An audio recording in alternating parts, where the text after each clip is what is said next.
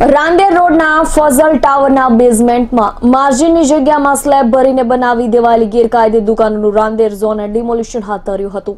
Demolition કરવા ગયેલા મનપાના સ્ટાફને પોલીસે બંદોબસ્ત પણ આપવામાં આપ્યો હતો.